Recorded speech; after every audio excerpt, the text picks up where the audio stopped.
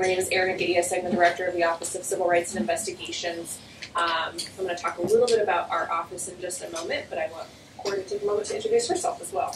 Hello everyone, I'm Corey Damron. I am the program coordinator for our violence prevention programs, which is housed in our Dean Students office. So I do a lot in terms of awareness and prevention of all the issues we're going to be talking about today. And on the back, you'll see a flyer for our Katy Benoit Campus Safety Awareness Month. I do a lot of programming during the month of September. A lot of things for faculty and staff, as well as students, and you constitute both of those, so you should really check them out, and I'm really excited. Excellent.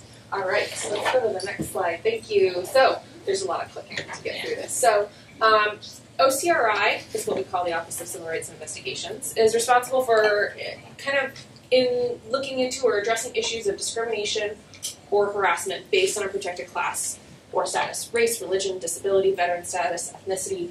The big one we're going to talk about today is sex and gender, right? And so that's what sexual harassment really covers.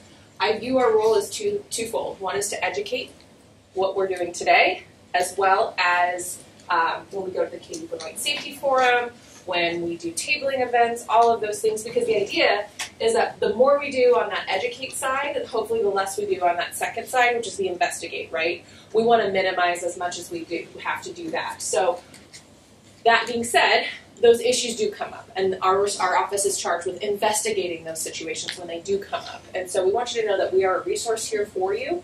Um, if you ever are uh, responsible for a class and you're not going to be able to make it, you don't have to cancel.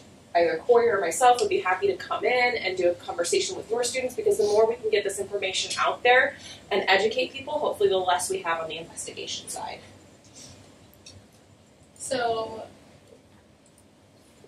we're going to be covering a lot of ground today with the intent that you leave with an understanding of the University of Idaho's sexual harassment policies, as well as are educated on gender-based harassment, relationship violence, sexual assault, and stalking. Um, you're also going to learn about your role in supporting our efforts, which we've already briefly touched on. It's important to note self-care. We're going to be talking about some heavy topics today, and we want to make sure that you take care of yourself in this moment. Whether you need to take a step out, go to the bathroom, go get a drink of water, whatever it is you need to take care, do to take care of yourself in this moment, please do it. You also might get a disclosure from a student in the future, and that might bring up a distressing time in your own life. So make sure that you're taking care of yourself in that moment as well. All of the support resources that we talk about today, they're not only here for the students that you work with, but they're here for you as well. So don't be afraid to use those resources when you need them. This includes like free counseling sessions through our counseling and testing center, as well as through the employee assistance program as an employee. So take advantage of these as you need them. You get both, so. Yes. Best of both worlds. All right, so I'm going to briefly talk about Title IX. Um, I, I used to ask this question, so I've been doing a version of, of some sort of sexual harassment training for quite a while, and I used to ask this question, and um, I'd ask, like, okay, how many people have heard of Title IX? And, like, maybe a quarter, maybe a half of the room would raise their hand if I was lucky. Um, and now when I ask the question, it's like 95% of people raise their hands. And so I stopped asking the question because most of you have heard of Title IX. Um, and this is really the very basic language around it. Um, it's, but really what I always like to cover is that this is so much broader than what we're going to talk about today. We're focused on sexual harassment, um, which includes sexual assault, stalking, dating, and domestic violence, but it is much broader any sort of program that we have. When we have do Lionel Hampton Jazz Fest, all of our programs have to be free of, of sex-based discrimination. Um, any sort of camp that we bring onto campus, whether it's FFA or 4-H or anything like that, everything, pregnancy and parenting fall under this category. Lots of things fit within, within Title IX. And so while we're narrowly focused, I always just like to make a point that it is much broader and we're not going to concentrate on that, but please know we are here to support you if any other questions outside of that focus of our focus today comes up. So, for our narrow focus, what Title IX needs for you is that you are a mandatory reporter. So, particularly when it comes to things like um, sexual violence, gender based harassment, the State Board of Education has said that all employees must report this information. And not only that, they put a time frame on it. They said you have to do it within 24 hours. Um, my guess is that nobody in here is going to meet the exception as being a licensed medical professional or counselor. If you think you do, uh, we will chat later, and you, I will. My information is on the back table, um, and we can talk about that. But chances are nobody in here meets that exception. So this means you have to report within 24 hours when you learn of some sort of sexual harassment, sexual assault, stalking, whatever it might be. I always like to also caveat this with you. I expect you to be human beings, and I will return the same favor. So if you are one of those people that can practice amazing work-life balance, and you don't check your email after five on a Friday, and you come in on Monday and you're like, I didn't see anything over the weekend, but Friday at 5:01, I got an email of a student disclosing a sexual assault, and that's why they won't be in class, and I didn't disclose it all weekend. I understand, right? I expect you to be human and have those balances. If you're doing field work, you're in a location where you don't have service, you don't have internet access. My expectation is that you do it as soon as practical, right? As soon as you're able to get back to that location and have that service. So just know that it is 24 hours. Um, I'm not responsible for, um, you know, uh, you know, disciplining you for failure to do that. My goal is really just that you get it to me as soon as possible, um, and I that's all I really care about. And I, I don't care if I get multiples. The other thing that I always like to highlight: some of you are um, of an age where you're coming right out of undergrad, you're coming into this, this particular program and this role, um, you're close in age to your students. You're also going to be building, you're in a unique position you're also going to be building relationships with your mentors, your, your supervisors, your uh, professors, whatever that might look like. We have a consensual romantic relationship policy. And the reason I bring this up is because it is important to be very crystal clear about what it says and what it means it, believe it or not, doesn't say you can't have a relationship with a supervisor or a supervisee. But what it does say is if you do, you have to disclose it, and we have to remove the authority that exists between the two parties. My advice is unlike Nike, just don't do it. Okay? just avoid it altogether because what ends up happening in some cases is you don't know whether or not somebody is engaging in that relationship because they feel like they have to in order to get a good grade or to get an opportunity, right? It doesn't prevent a sexual harassment claim com- from coming forward in the future. So, again, the policy, I'm going to be very transparent. Doesn't say don't do it, but I'm going to tell you to be uh, avoid it when and all at all possible because it, it can create other complications that are really going to mess with your experience. And again, my goal is to minimize the investigation side. Oh, I. I covered that. I got ahead of myself. My bad. No, that's fine. So we also have a um, we have a little complexity. I'm going to cover briefly um, kind of what this looks like, but you don't have to know the nuances. So big thing to know: we have kind of two sexual harassment policies. One that is considered the Title IX sexual harassment policy. This is 6100.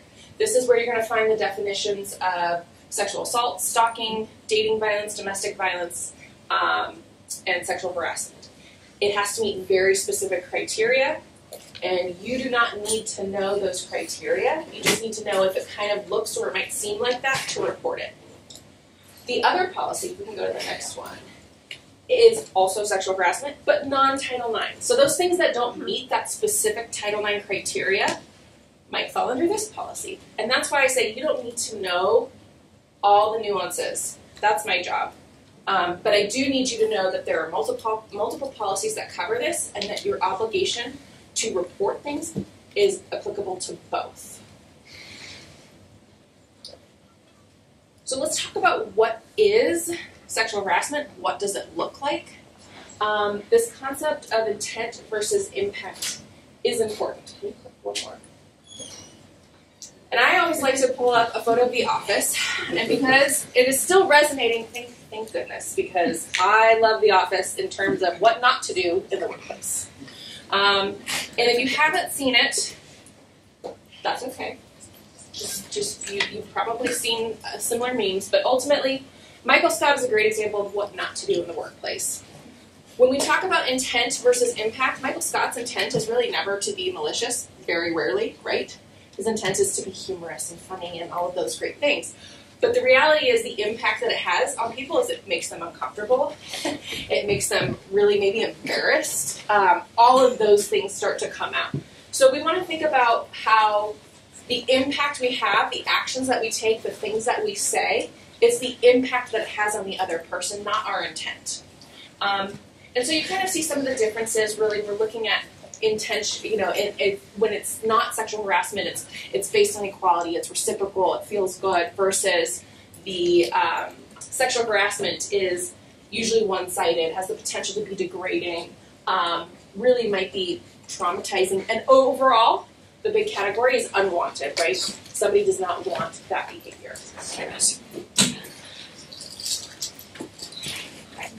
All right. So sexual harassment can look a lot of different ways. Um, verbal or written. Uh, this could be uh, you might get a an inappropriate note. Um, it might be an inappropriate comment. Um, comments about clothing or body, sexual jokes, even spreading rumors. This one gets tricky. Um, folks don't think about um, the impact that spreading rumors have on the environment, and that can potentially fall under sexual harassment. Physical sexual harassment is going to be things that might be uh, blocking someone's exit from a particular space.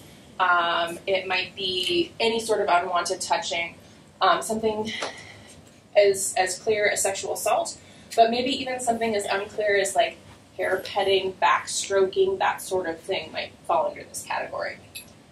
Nonverbal conduct. I always like to tell folks we have a very vast language for a reason. There's a difference, and I, I'm to, Corey, I'm sorry, this is the first time you and I are doing this together, but you are going to be my sample. Um, Emily is used to this. Um, but there's a difference between a look and a leer, right? When I look at Corey and I'm having a conversation, that's different from my elevator eyes or something that might get to the point where it's uncomfortable, right? Thank you for being my um, guinea pig. Appreciate it. Similarly, when we talk about that verbal or written, one thing that I always like to mention is there's a difference between like, hey, Corey, that's a really great, great sweater you're wearing today, versus it's a really nice sweater. It holds your body really well. that sort of thing is going to be super uncomfortable, right? I just Corey didn't know I was going to do this, so I apologize. but it's, it, you can tell the difference in the language, the tone, the intent, right? Like again, the intent doesn't matter, but that impact on her is gonna is gonna make the big difference. Visual. Oh wait, oh, sorry. I, I know. I know. I keep. I just talk so much. Okay. Visual displays. If you are, I just like the thing that I like to tell people is like your screensavers, if you have a shared cubicle or space or anything that anybody else can see, third parties who can see that might be able to file a complaint, right? And so your vacation to a nude beach where you created a calendar to commemorate your, your memories, keep that at home. Don't bring it into the mm-hmm. workplace. And then, as always, if you see something, say something. Bring it up. We want to know about it. Not everything is going to rise to that level, but it certainly creates an opportunity for an educational conversation on the impacts that it's having on the work or the educational environment. Now, so this can really occur anywhere. We often like to think that sexual harassment is specific to the campus borders and within, you know, the, the boundary line, but it can happen anywhere. If you are traveling for a conference, if you receive an email, um, anything that might be tied to your work environment might fall within that category, or your educational environment. And again, you're all in a unique position because you happen to be potentially both students and employees. So you're particularly going to see both sides of that coin. But it really, the location is, is typically irrelevant, it's the context in which it's occurring. And then it can really occur by anybody. Obviously, we think of the more typical dynamics of, um, you know, professor and student, um, but it could be uh, our alums, could be visitors, any third parties that come to our campus. So when we have big homecoming events, things like that, might fit within this category. Really, our responsibility to you as the institution is to ensure that these things don't happen, regardless of who's engaging in the behavior. Um, our responses may be limited in how we can do that, but we still have options to support people.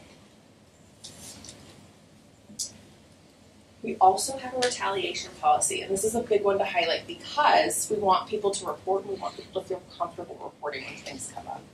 So, knowing that if there are any sort of threats or harassment or intimidation for filing a report, for participating in a report, we want to know about it because we want to be able to address it as soon as we possibly can.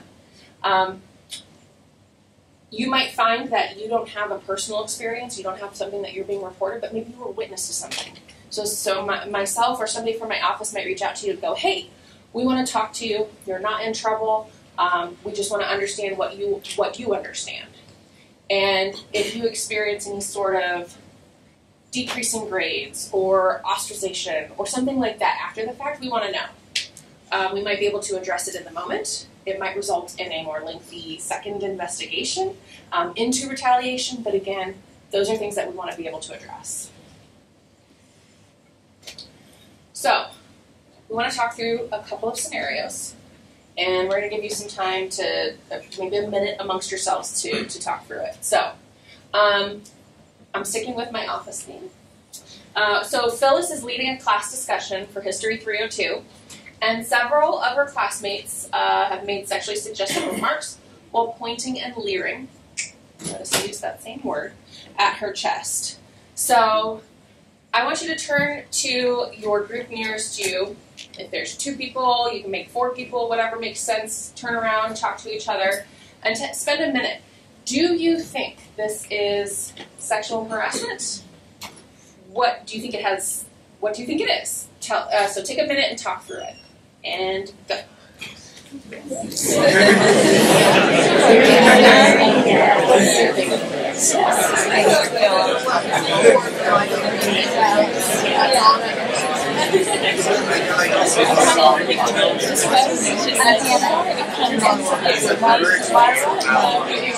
I'm not sure. I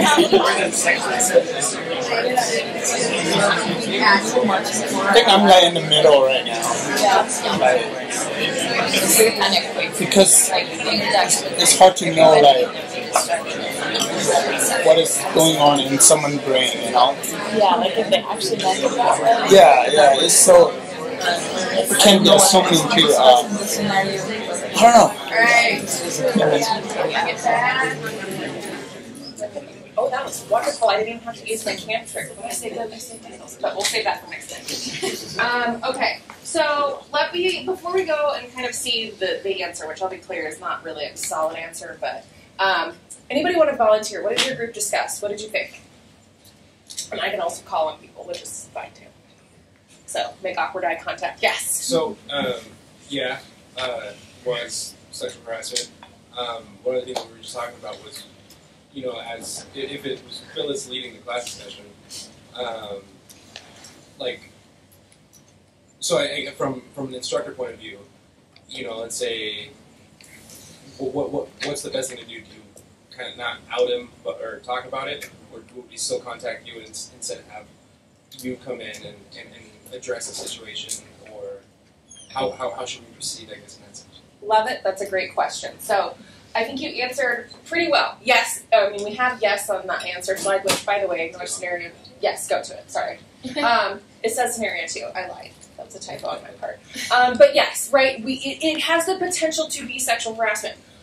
What I'm going to want to know and why I'm going to want you to report is because maybe this isn't the first time this has happened in this class. Maybe this is not the first time this has happened with the students engaging in the behavior. Maybe I have other information that demonstrates this is a potential problem that crosses that threshold into sexual harassment that I need to investigate. So I'm going to want you to know. As far as addressing it, I think there's a couple of things you can do. And it's really going to be, I think, to some extent, your comfort level and your ability to your how the classroom tenor is and your management practice in a classroom. It could be something as that's not appropriate. If I hear it again, I'm going to ask you to leave. Be as direct as that. It could be also something where if you have the opportunity to go and, and kind of get down and go, hey, I want you to be aware that I can hear what you're saying and it's not appropriate, please knock it off, right? It can be something as simple as that. It can also be if it's happening at the tail end, you don't have an opportunity to address, having them hang back after class.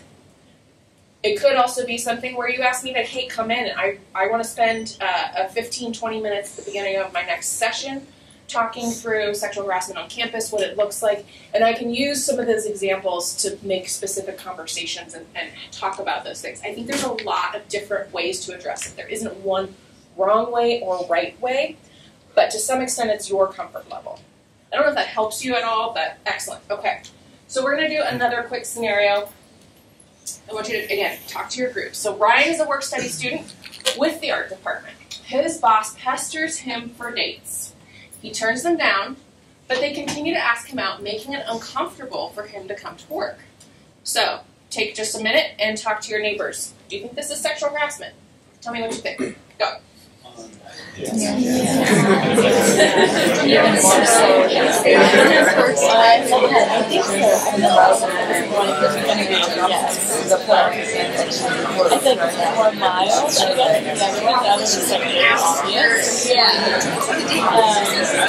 Yeah, I don't know how I would address that. Yeah,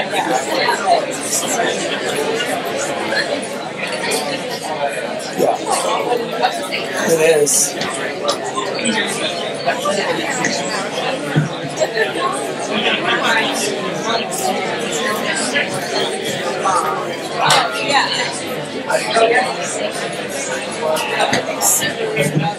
All right, let's bring it back.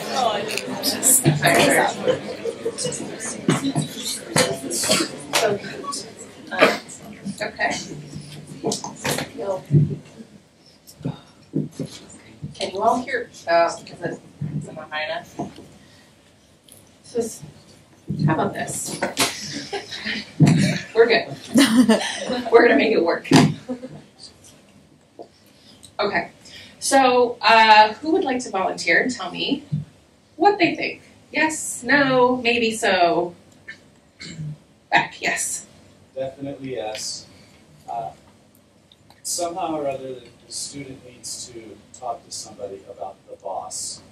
I'm not sure how we in that situation do anything, right? Because we're already the villain. Um, so that's what we discuss. Okay. Love it.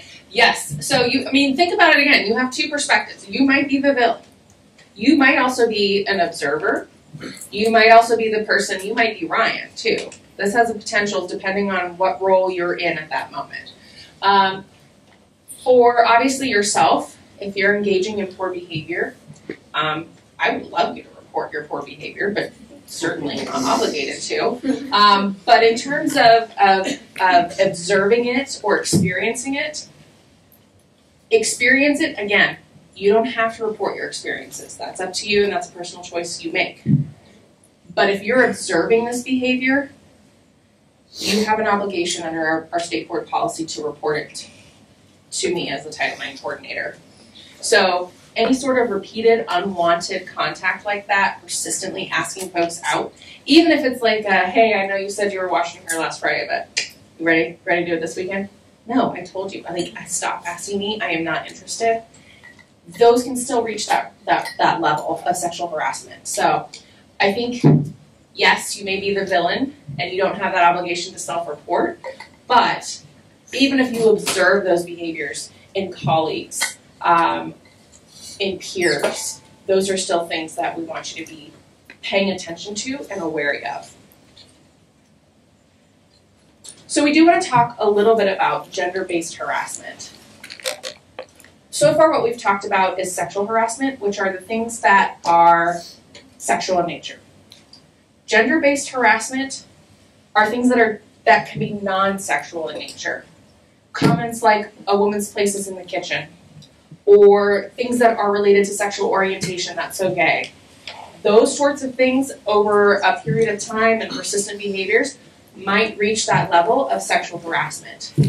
So we want to make sure that we're being thoughtful about how we engage in our workplace, in our classrooms, um, because all of these things might reach that gender based harassment threshold as well. So, what I want you to do is we're going to make you break into your groups again, but I want you to think about what might this look in your workplace. So, you're all coming from different fields, different areas. What might gender based harassment look like, and what might be your reaction to that? So, go ahead and take a minute and discuss. Hmm. I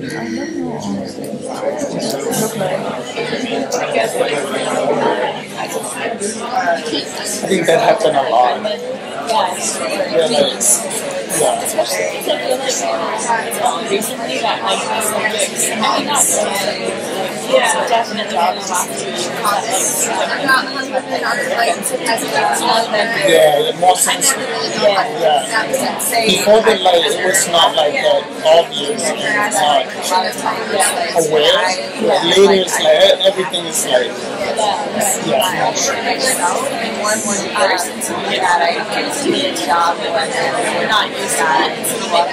and more diverse and so we that I can see a job and we're not used to that. And so like comments we don't realize like actually something that I can. Yeah. A lot. That's like comments that like would normally say but not even thinking about the job.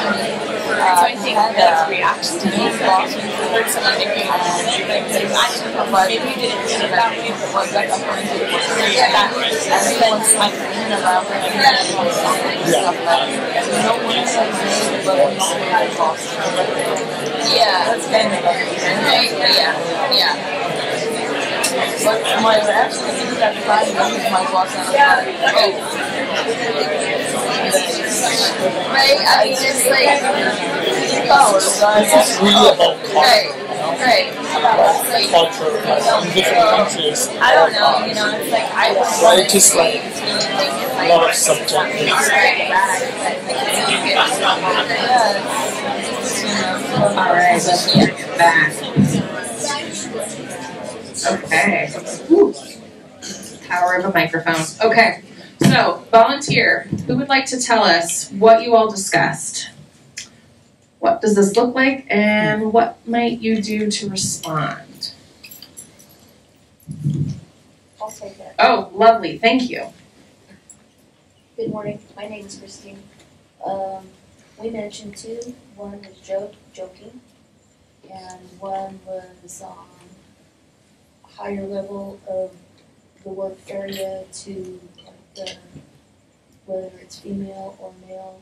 Um, um, just at the lower position might have it might have a better perspective, and then um, in reaction, the, the higher level worker, um, most of the time might be in authority position, just uses silence.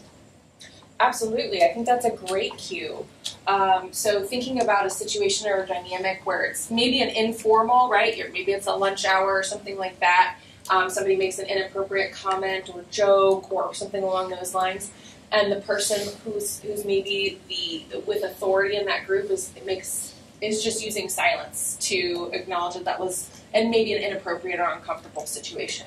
Absolutely. Yes. Uh, in a group project, like a guy being very dismissive of a girl, but I like, what do you do? Because I don't know if anything you say to him will make him care. And then you can't just not assign him to group projects with women. That doesn't solve anything. I think I, that's a perfect observation. I think you're absolutely correct. You still continue to to assign as you normally would. I think you just make the observation of like, hey, I've noticed this is how you engage with our female students in the class. And if you're uncomfortable having that conversation, I'm happy to have that conversation. Because a lot of what I do is still educational, right? It's, it's not that people are in trouble. It's like, hey, I want to bring this to your awareness. For some folks, it may actually be like, I did not know I was doing that. For others, it may not be that light bulb moment. But then I have started I've started to demonstrate the steps that I've taken to help address it that are not hurting it, and I continue to to resolve or continue to move forward in my process to address that concern. Absolutely. One more. Intentionally misgendering people. Intentionally misgendering people. The reaction would probably be to address the person to see if they actually are doing it intentionally, and if they are then.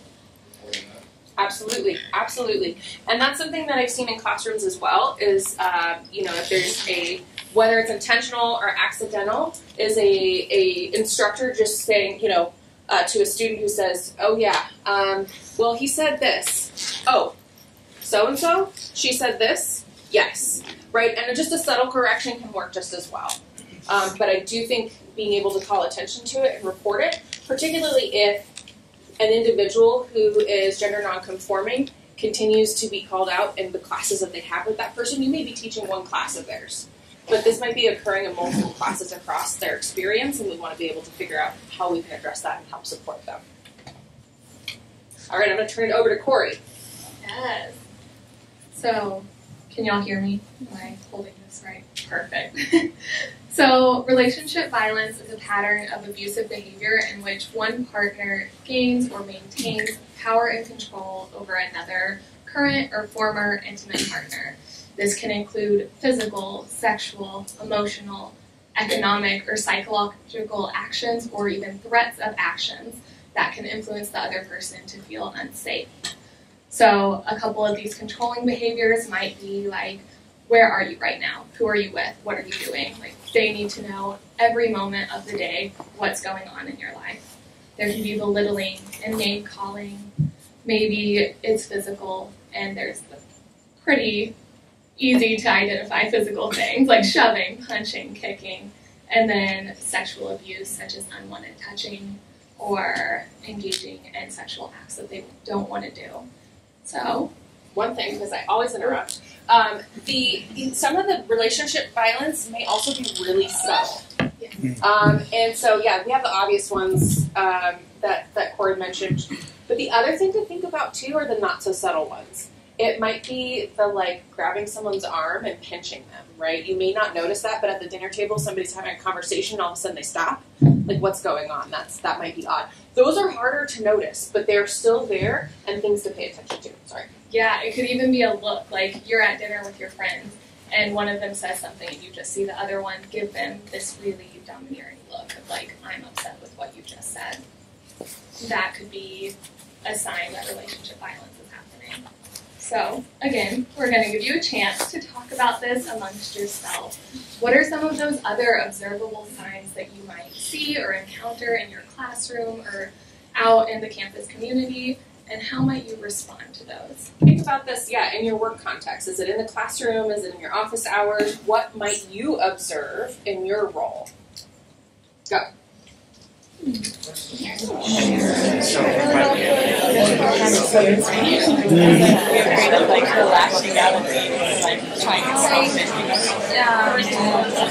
our position, like uh, how would we possibly I see it someone who's kind of like uh, that they're like aggressive they aren't speaking. or like feel like they have to one thing I want is like if see that they're we need to set up excited time something else is happening uh, go over Yeah. outside the class. comments about yeah, you know, like This is very subtle. Yeah. You know, like have appointments after or like receive and also, you know, like the visual cues that you know, In relationship, it can be like no, I guess a little sometimes someone can be you know? Sometimes because they're sharing everything, especially a husband and wife, so so intimate. It's so deep to know. Yeah, it's it's you might not be able to say like just one time like this, and then you can say it like exactly. Same person. Record. Say go. Handles. Go. Go. I think I'm just much more quiet. All right. Does anyone want to share some of the signs that you might see or how you respond? we were talking about because we're both going to be uh, TAs for lab, um, and at least in my experience, it's fairly uncommon to have like two people that happen to be in a relationship in the same lab. Um, so the one that um, we came up with that was probably what we see the most of is on the cell phone. Uh, if somebody's in lab and texting a whole bunch, which they really shouldn't be paying attention to anyways, but then it's like you can tell it's not happy stuff. It's like they're getting a lot of or they get a phone call, they got the hall, and there's a bunch of screaming and yelling at the other person. Um, as far as how you want us to deal with that, I mean, my first response is usually put the cell phone away. It shouldn't be out. But how, how would you So- dealing One of the things that I like to say is Vandal Care is super amazing. It's through the Dean of Students office. So, like any concerns that you have for yourself, a colleague, a student, and you're not quite sure what's going on, but you want someone to check in on them, you can submit a Vandal Care report, and one of our case managers will talk to them. So, it could be like, I've noticed they get a lot of texts and phone calls during lab, and I'm just really worried about them. Would you mind checking in on them and giving them some resources? It could be as simple as that because a lot of the times with relationship violence, you might know one of the people but not the other.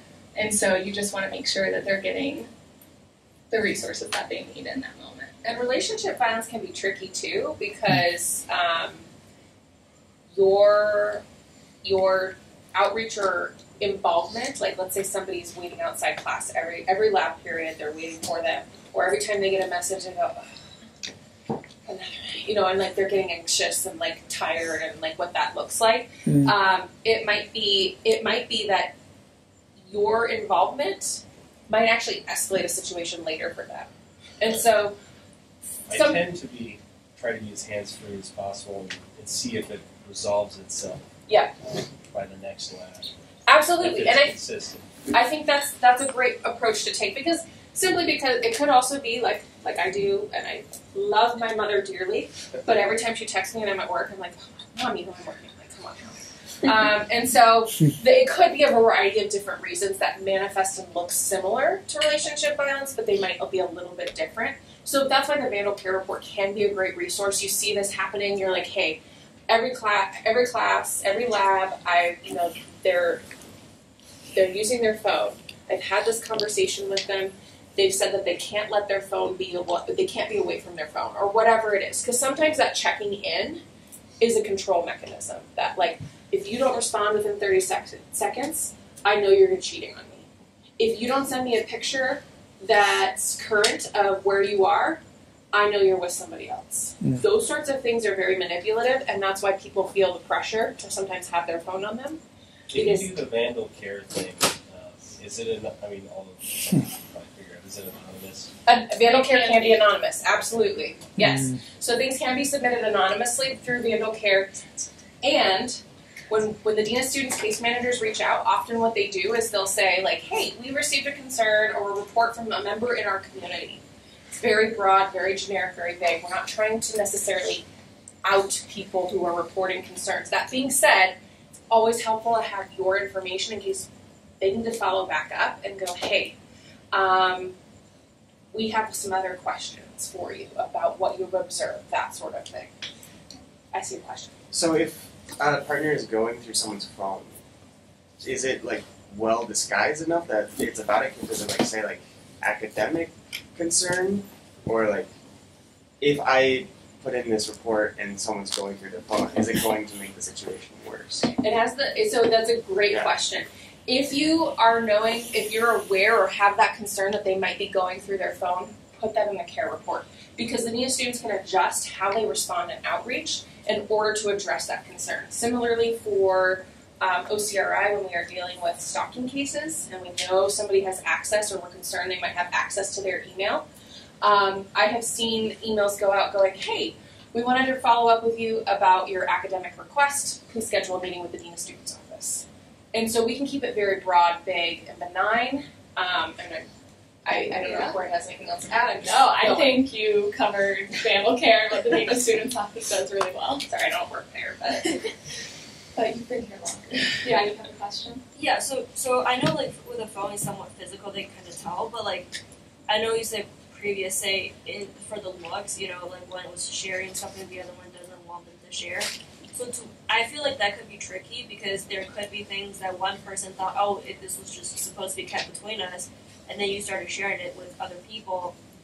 So I need to make say something so you, I guess not to stop you from sharing, but just hey, I would prefer that you don't do that. So to what extent would you like that it's just communication between them versus that it becomes like violence that because if I have like say two students sitting in front of me talking for whatever classwork or whatever, but then one started saying, "Oh yeah," th- that they happen to be a couple and say, "We, yeah, this weekend we did so and so," and the other person said, "Give them a look," say, "Hey, I don't want like my TA to know what I did this weekend," you know. So like, to what extent would you have to not necessarily step in or report, but like that you need to intervene?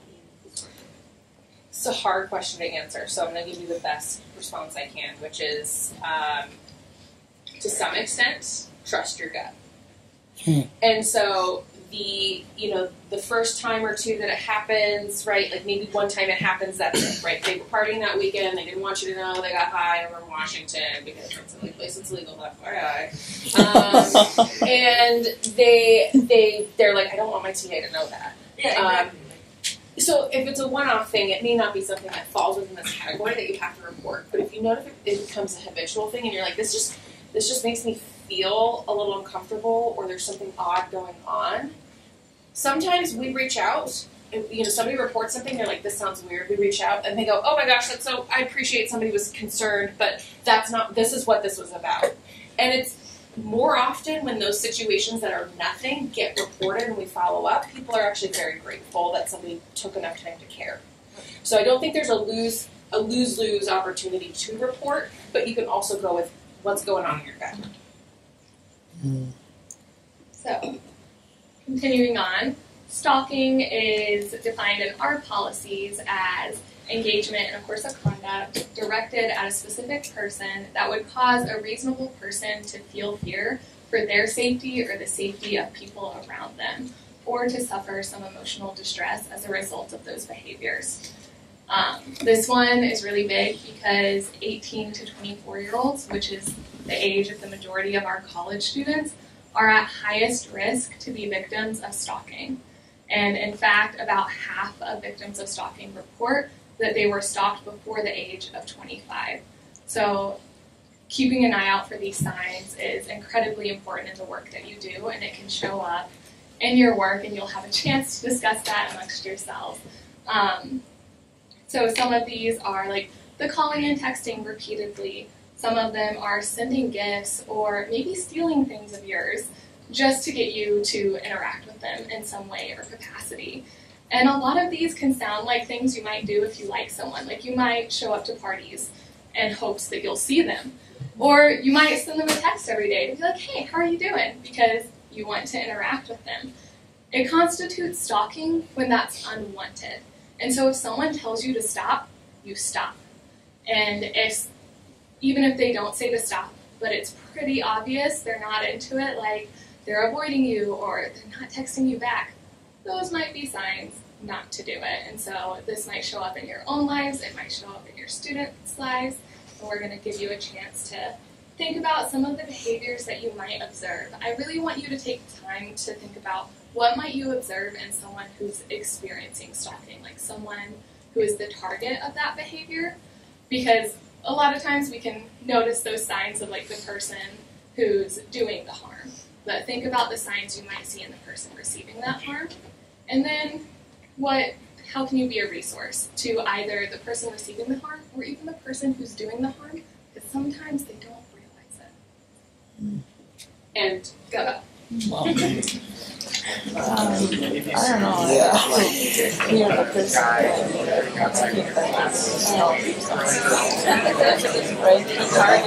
What kind of behavior that on edge around? It's like that person is there, they're. Um, so, you know, it, it creates a lot of anxiety. Yeah, I don't know. Yeah. And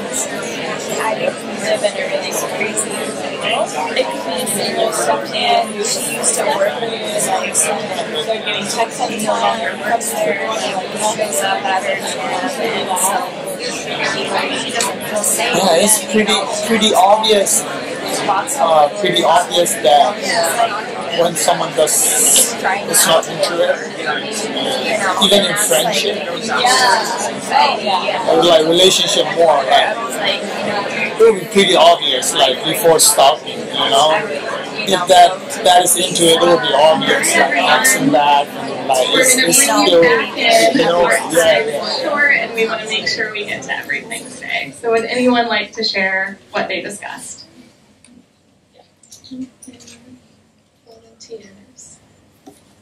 I would think that a behavior um, of the target would be nervousness, maybe always looking around the room to see if that person is there. Uh, in order to respond to that, maybe pull them aside after class and let them know what resources are available if they feel fearful. Um, to the individual exhibiting it, I have no idea how to approach that. There's not other hands. Yeah. So maybe body language and proximity. So if somebody sits down, the other person leaves immediately, goes into a room, same thing. Absolutely. Le- leaving the space that that other person enters on a regular basis. Yeah. It's on another hand. Yeah. Uh, one that we had was like oh, we want to be in a group with them for group projects when it's clear the other person is not interested or is trying to get out of it. Oh yeah, or you have somebody coming to you and saying, "Can you please make sure that this person is not in my group project next time?" Um, those sort of things can be worth uh, noting. Um, and as far as um, you know, kind of those those that person exhibiting the behavior. Curious, did any groups talk about that? What do you all think if you had a person exhibiting the behavior? What might you do to, to respond? Yeah. You're gonna have to put on your big kid pants and talk to him. Yeah. It's gonna be uncomfortable. Yes, uncomfortability is uh, get used to it. It doesn't get better, but it is there. Um, but yeah, it might be a like, hey, I've noticed that you send a lot of text messages to this person, um, but they don't really get back to you. Is like, uh, what's what's going on there? Um, and sometimes it's just having a really broad question to open the door to the conversation. Um, it, depending on the nature of the, the relationship, maybe this is a peer, and you're like, hey, you are going to the bar every night of the week in the hopes of running into this person, and it is uh, it is kind of getting weird. Uh, I don't know if you know that it's coming across that way, but I wanted you to be aware that that's how it looks to me. And sometimes those are awkward, awkward conversations. Uh, sorry, Corey, you have anything you want to add?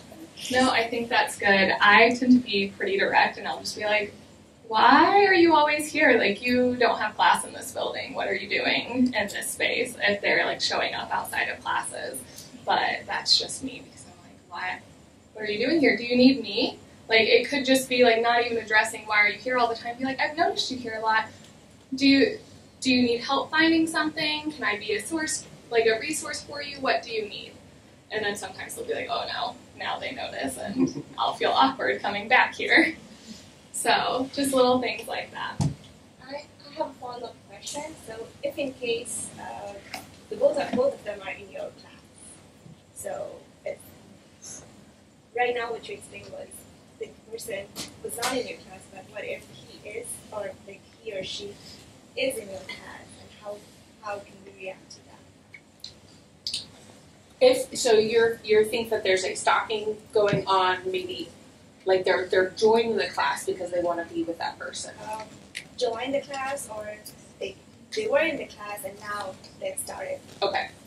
I think if there's something of a concern like that, it's important to report it because what we'll do is we'll reach out to the person that you think is experiencing the behavior, and we're gonna go, hey, we just want to talk to you, see how things are going with you, um, and it creates an opportunity for them to engage with us to then address the concern. So we have things called supportive measures that we can put in place. It might be things like, hey, just don't talk to one another.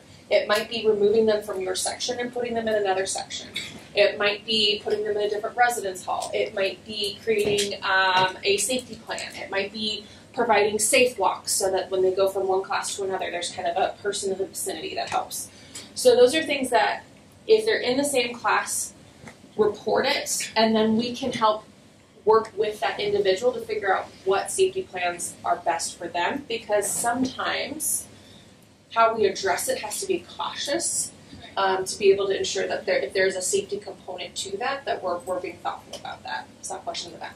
Should you, pretty much as a rule of thumb, just report all of it because you have no way of knowing if there is a safety component? I feel like just confronting people isn't really a good idea. Uh, I think that's very wise. I think that's very wise. So here's the hard part, right? You all are going to be in these situations. We are not. Um, you're going to have a better read on the context. You're going to have a better read on the people, your relationships with those individuals, what you've observed in the dynamics of others. And so you may have a certain level of comfort or understanding of the context to feel comfortable to go and be like, hey, you're showing up. What's going on? You may also not. And you may also feel like this is weird. I'm not sure what to do. So I always prefer folks err on the side of caution and report. And again, nothing, no, reporting isn't, isn't necessarily a bad thing. And it doesn't, many folks, when we reach out, are appreciative of the support and that somebody observed something and took note and wanted to make sure that they got help, even if there wasn't anything to help with. Um, so there, this is always a hard and complex topic because things can be the worst case scenario. Things can also be absolutely nothing.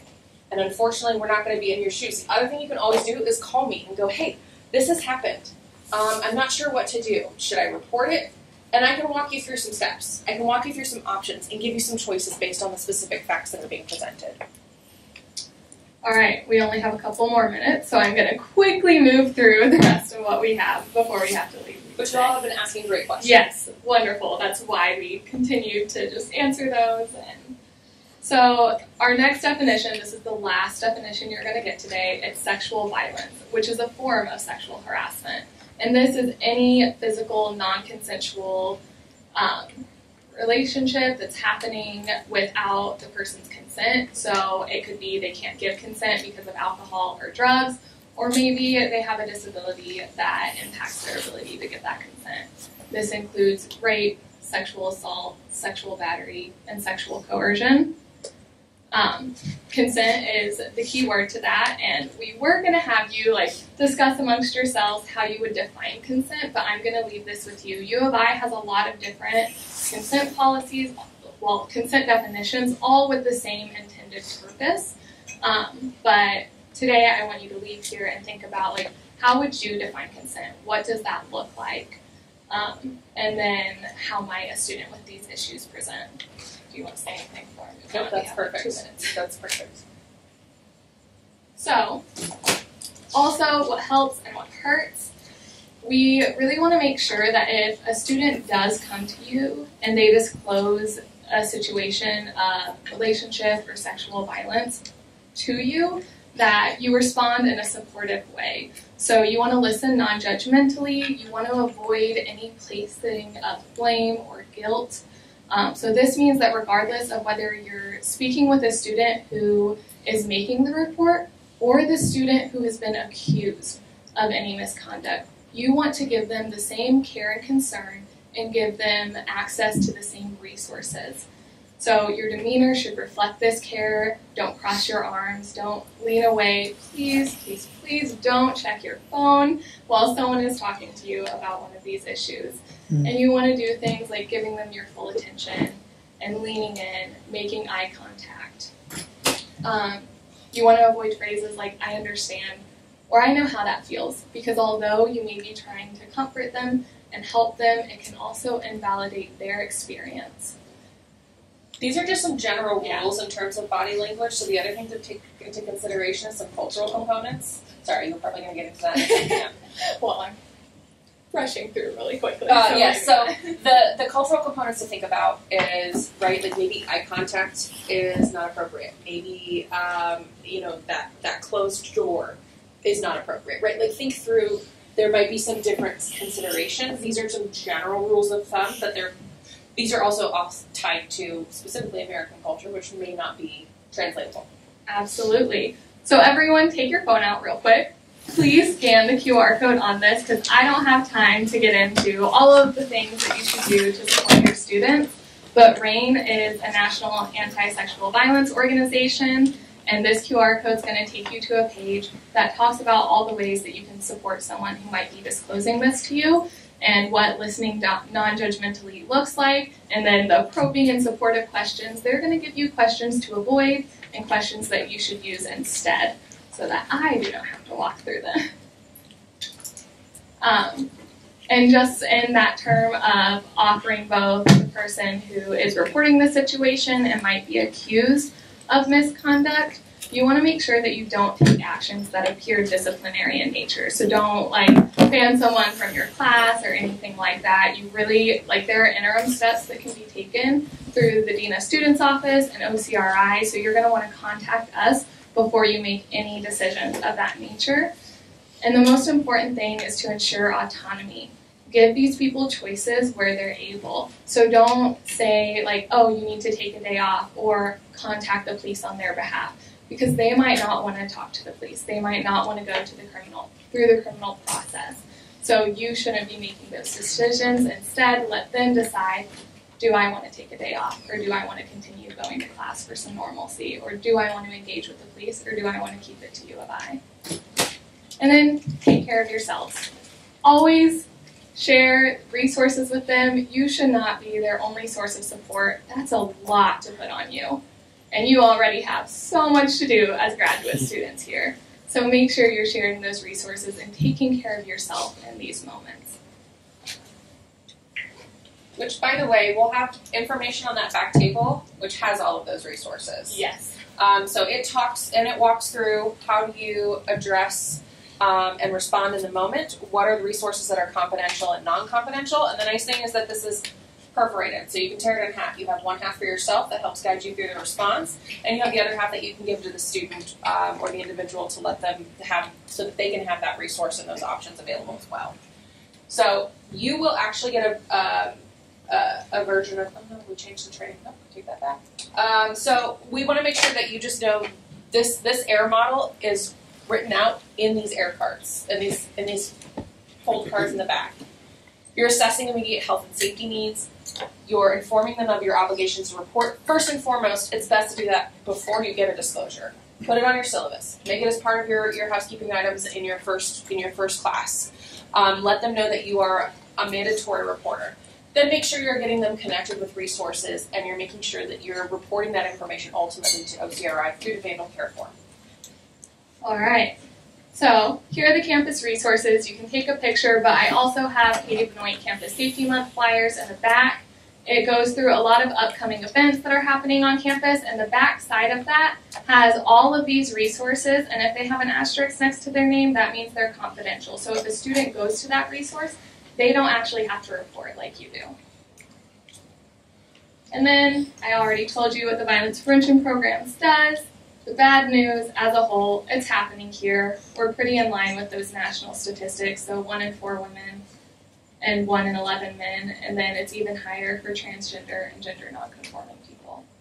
So we know that people are experiencing this, but there's good news. We have lots of resources on campus. We are two of them. We have a bystander intervention program called Green Dot, which will help give you tools and empower you as a bystander so that when you see potentially harmful situations, the goal of this training is to figure out ways that work for you to respond. Whether you directly do something, you delegate it to someone like Erin, or maybe you just distract people because you see a potentially harmful situation. You're like, I'm going to spill a drink or I'm going to set off my car alarm. It goes through all of those wonderful things.